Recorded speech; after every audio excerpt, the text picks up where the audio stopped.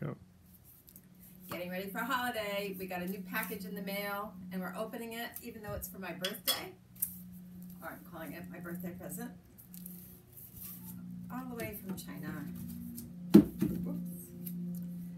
This is for my studio. I'm very excited to enhance my studio. I already like the colors. It's a beautiful color, turquoise. It's smaller than some of our others. Very nice though.